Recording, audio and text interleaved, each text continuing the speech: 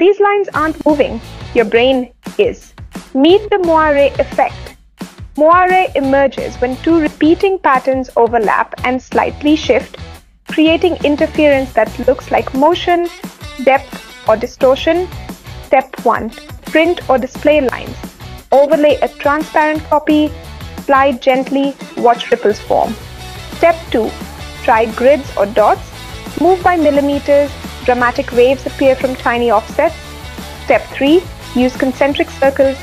Small shifts make rings pulse, depth pop, and edges shimmer. DIY tip. Transparent sheets or paper cutouts work. Your phone light makes a great backlit stage. Software method.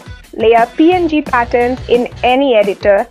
Keyframe a 1-2 pixel slide to reveal moire motion, applications, art design visuals, printing, scanning halftones, and vision science on perception. Try it at home and share your results.